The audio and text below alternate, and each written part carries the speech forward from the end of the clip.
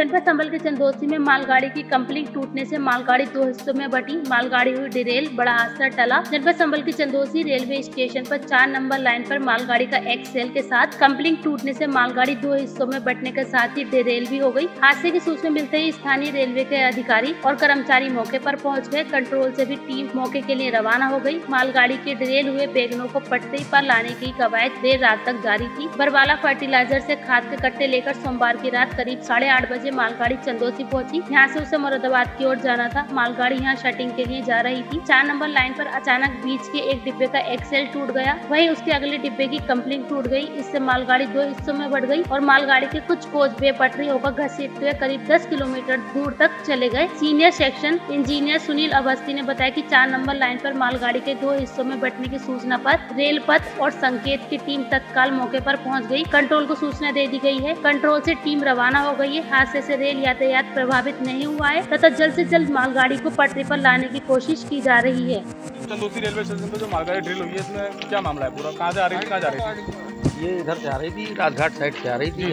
जी Rajghat side से आ रही थी। चंदौसी और चंदौसी से वापस मुरादाबाद जाना था। तो जाते समय ही ये हो गई उसकी जाँच चल रही है। देखते हैं कहाँ पे क्या करनी चाहिए कितने डिब्बे ड्रिल हुए हैं दो डिब्बे हैं। अगला जो है ये पहली बोगी पूरी बोगी से और आगे वाले की एक व्हील ड्रेल है। ब्रेकिंग हुई उसकी वजह क्या अब देखो जाँच चल रही है। जैसा भी अभी इस समय एकदम से कहना ठीक नहीं है क्योंकि जाँच हो रही है लेला भी अभी दिखाई नहीं पड़ रहा है।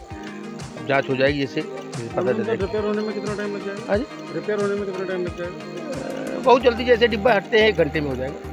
एक घंटे में ये इतना बड़ा हादसा एक घंटे में हाँ हाँ हो जाएगा। बीच बीच रिपेयर हो जाएगा? हाँ रिपेयर हो जाएगा क्योंकि जब तक ये व्यवस्था हो रही है आपने अपने ऊपर आला अधिकारियों को भी सूचित किया हाँ हाँ सब सूचित